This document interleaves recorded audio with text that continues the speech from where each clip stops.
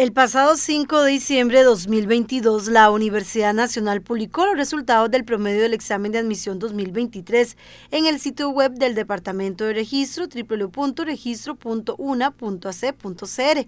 El resultado también se le envió a cada persona al correo electrónico registrado en el sistema de admisión.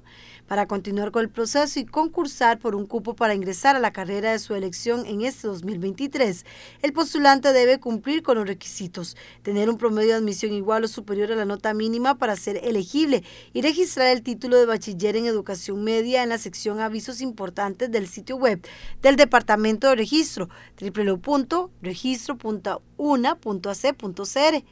El periodo para registrar el título de secundaria inicia el 16 de enero a las 8 de la mañana y finaliza el 18 de enero de 2023 a las 5 de la tarde. Los títulos de bachillerato enviados después de esta hora no serán incluidos en el sistema de admisión. La lista de personas admitidas será publicada el 23 de enero de 2023 a partir de las 8 de la mañana en la sección avisos importantes del mismo sitio electrónico. La matrícula se realizará en línea según cita asignada a partir del 23 de enero y las clases del primer ciclo lectivo 2023 iniciarán el 27 de febrero.